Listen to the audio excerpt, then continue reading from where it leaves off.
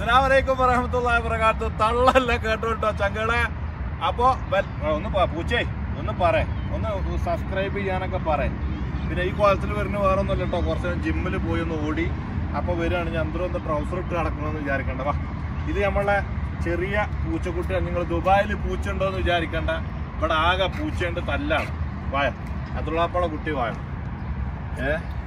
പിന്നെ അവ ചങ്കളെ നമ്മളെ കഥകൾ ഇങ്ങനെ പറഞ്ഞുകൊണ്ട് ഇങ്ങനെ ഇരിക്കുമ്പോഴേ ഓരോ കഥകൾ ഇങ്ങനെ ഓർമ്മ വരികയാണ് നമ്മൾ ചെറുപ്പകാലത്ത് എനിക്കുണ്ടായ അനുഭവങ്ങളല്ലാതെ വേറെ ഒന്നും ഞാൻ പറയില്ല. കാരണം വെച്ചാൽ അത് സംശയം ഉണ്ടെങ്കിൽ വേറെ ആൾക്കാരെ നമ്മളെ നാട്ടിലുള്ള ആൾക്കാരോട് നിങ്ങൾക്ക് ചോദിക്കാം. അതിന് വേണ്ടിയിട്ട് എന്റെ നാട്ടുകാരെ കഥ ഞാൻ പറയണത്.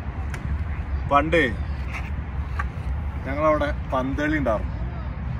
അപ്പോൾ ചെളവറയും മുണ്ടക്കോട്ട് ഋഷിയും ഞങ്ങളവിടെ കളി വെക്കുമ്പോൾ എന്തായാലും ഫൈനലിക്ക് എത്തും ചെയ്യും. ഫൈനലിക്ക് വെച്ച് കഴിഞ്ഞാൽ എന്തായാലും തല്ലുണ്ടാവും.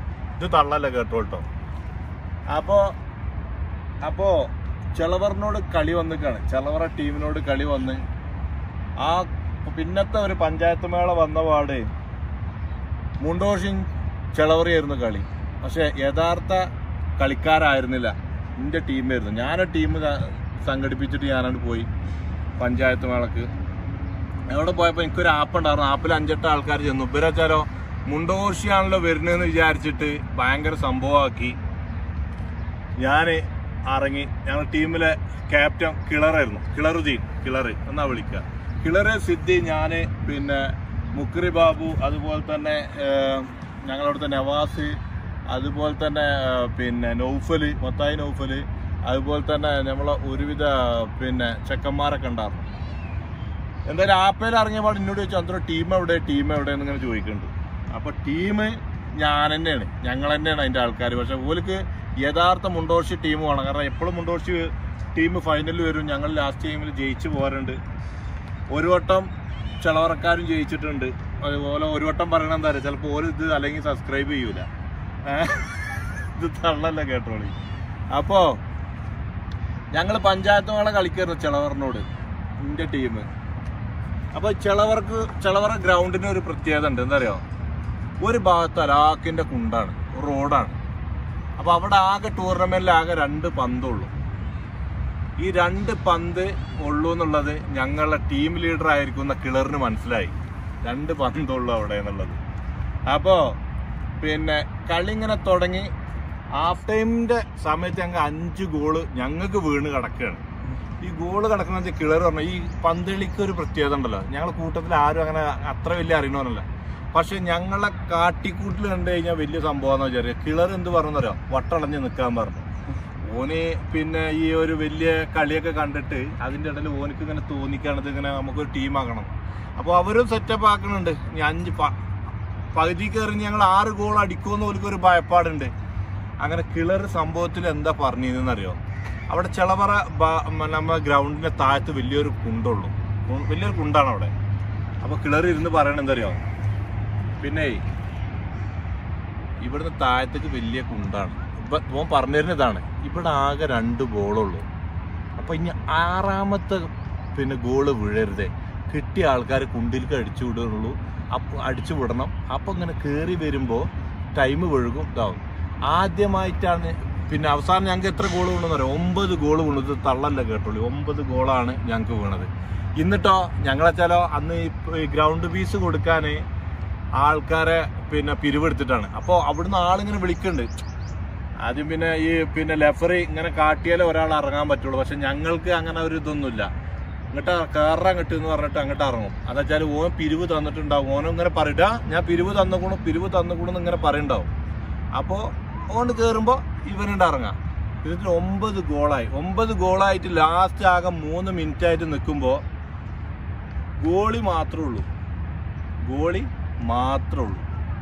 ബാക്കിയുള്ളവരൊക്കെ ഇവിടെയാണ്.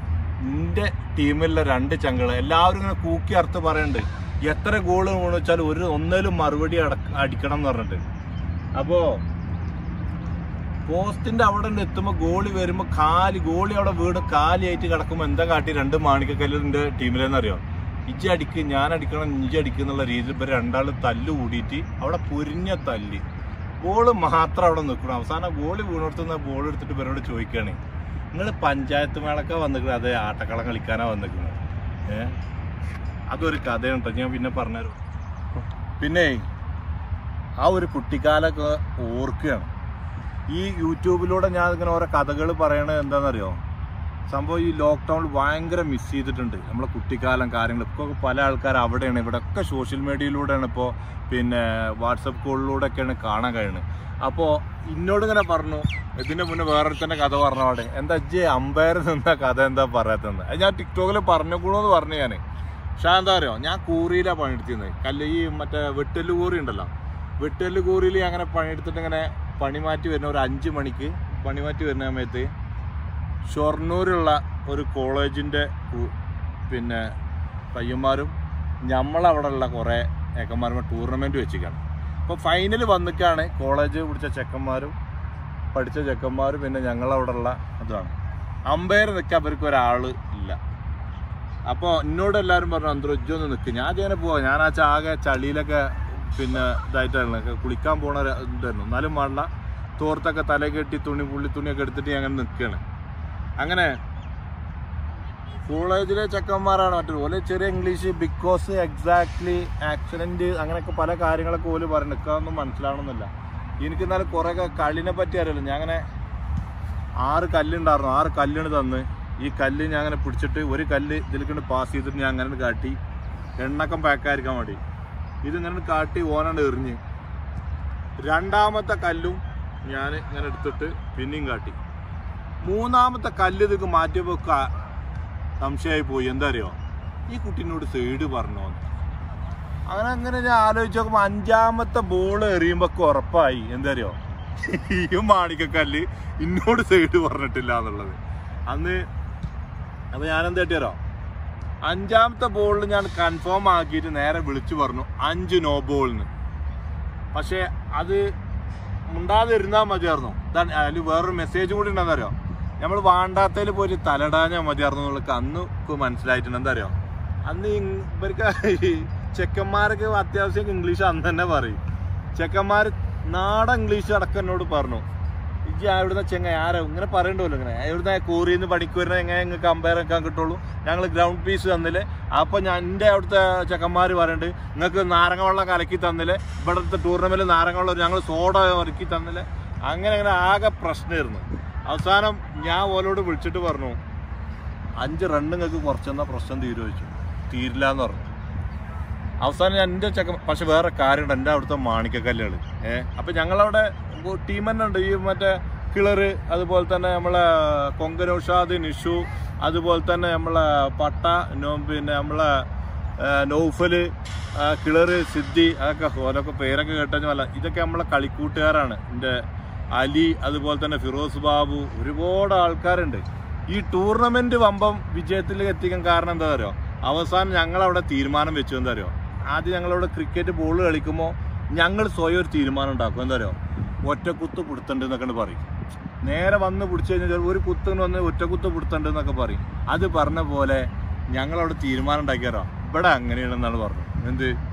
ഇവിടെ എന്നെയാണ് മനസ്സിലായാൽ അപ്പം നോബോളാണ് പറയും. നിങ്ങൾ സ്വീകരിച്ചാൽ തീരുന്നില്ല ഗ്രൗണ്ട് പ്രൈസ് ഇവിടെ വെച്ചോളി. നിങ്ങൾ പോകാച്ച പോയി കപ്പ് തരില്ല എന്ന് പറഞ്ഞു അപ്പോൾ എന്റെ നാട്ടുകാർ അന്ന് ഒപ്പം നിന്നു. ഇപ്പോഴും ഒപ്പം നിൽക്കുന്നുണ്ട്. അത് തന്നെയാണ് എന്റെ ഈ വിജയങ്ങളും എന്നുള്ള കാര്യം ഒന്നും കൂടി ഞങ്ങളെ ഓർമ്മപ്പെടുത്താം. ഇതൊന്നും തള്ളല്ല കേട്ടോ ഒരുപാട് കാര്യങ്ങൾ ഇനി എന്റെ നാട്ടിൽ തന്നെ പറയുന്നുണ്ട് അതെന്തിനാരോ നിങ്ങൾക്ക് വല്ല ഡൗട്ട് ഉണ്ടെങ്കിൽ നേരെ വണ്ടി വിളിച്ച് വരിക. എന്റെ അവിടെ നിർത്തുക. അതൊക്കെ സത്യമാണോ ചോദിക്കുക. ഒരൊറ്റ പോക്കാണ് പോവുക. പിന്നെ ഇതെന്താ നിങ്ങളോട് ഇങ്ങനെ പറഞ്ഞ നാട്ടിലെ കഥകൾ ഞാനിപ്പോൾ ദുബായിക്ക് വിസ എടുത്തിട്ടില്ല. എന്റെ നാട്ടിലെ കുട്ടിക്കഥകൾ ആയ ഒരുപാട് കാര്യങ്ങൾ ഇനി നമ്മളെ നാട്ടിലെ ഒരുപാട് ഉമ്മമാരെ കഥകൾ പറയാനുണ്ട്. അതുപോലെ എന്റെ പഴയ കൂട്ടുകാരെന്ന് പറഞ്ഞാൽ ഒരുപാട് വയസ്സായ ഉമ്മമാർ ഉപ്പമാർ ഒക്കെയാണ്. അതുപോലെ തന്നെ ഞാൻ പഠിച്ച എന്റെ സ്കൂൾ അവിടുത്തെ ചരിത്രങ്ങൾ അവിടുത്തെ കാര്യങ്ങൾ ഞാൻ പോയ വഴികൾ എല്ലാം നിങ്ങളിതൊക്കെ പറയുമ്പോൾ എന്തിനു വേണ്ടിയിട്ട് പറയണമെന്ന് അറിയങ്ങൾ നിങ്ങളിപ്പോൾ ഇത് കണ്ടിട്ട് നിങ്ങൾ ഇത് ഞാൻ പറഞ്ഞൊക്കെ ചെയ്തുക്കണമെന്ന് നിങ്ങൾ അറിയില്ല. ബെല്ലടിച്ച അതൊന്നും അസുവിന്റെ പുറത്തിരിക്കണ്ട ഇതൊക്കെ അടിച്ചാലാ എന്തേലും കിട്ടുള്ളൂ. ഞാനിപ്പോൾ വന്നിട്ട് കണ്ടില്ല ഈ പാർക്ക് കൂടെ അവിടുന്ന് നടന്ന് ഇതൊക്കെ പണിയൊക്കെ ആയിട്ട് വണ്ടിയൊക്കെ കഴുകിയിട്ട് എല്ലാ പണിയും കഴിഞ്ഞിട്ടാണ് വരുന്നത്. എന്തിനാരോ നിങ്ങളുടെ ലൈക്കും കമന്റും കിട്ടും എന്നുള്ള പ്രതീക്ഷയാണ് അന്തരവും ഞങ്ങൾ സ്വീകരിക്കും എന്നുള്ള കാര്യത്തിന് യാതൊരു സംശയമില്ലാന്ന് എനിക്ക് നല്ല ഉറപ്പുണ്ട്. അപ്പോൾ ചങ്കളെ see you and watch next അടിക്കൽ and തട്ടൽ. Support thank you so much